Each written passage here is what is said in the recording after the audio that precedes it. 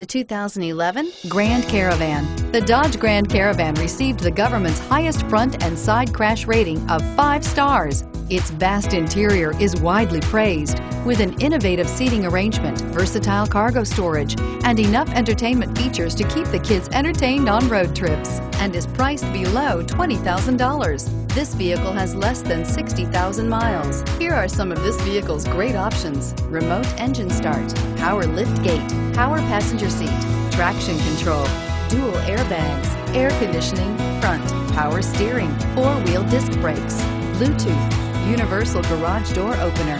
Come see the car for yourself.